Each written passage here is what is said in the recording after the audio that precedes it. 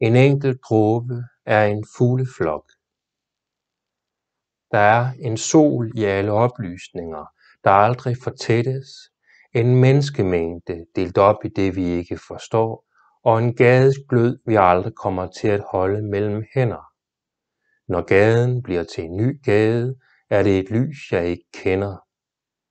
Jeg tilhører ikke dette sted, og du siger til alle på en åben plads, at stederne er hinandens spejle, strukturerne ændrer sig, åbne rum forveksles med splinter, klare perler i en drivende tid og en fugtig luft.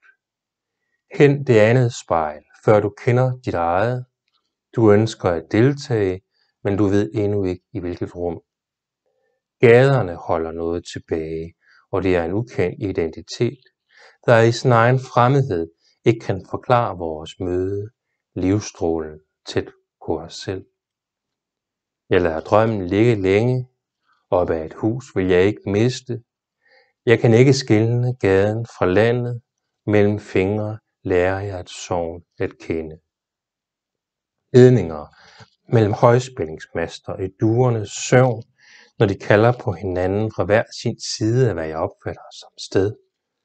Miljøer krydses i en udveksling af frie systemer, der grænser op til et land. Omgivelser, der afviger fra bevægelsen. Man forventer ikke at møde nogen, og sådan aflæses det yderste punkt. Stråenes tråde i forståelsen og synspunkter i vinden, det der ikke kan siges mod trætop, forsvinder i en fremmed lyd. Insekter samles i et naturligt hjørne af himlen, uden ting i en anden retning for det omgivende område.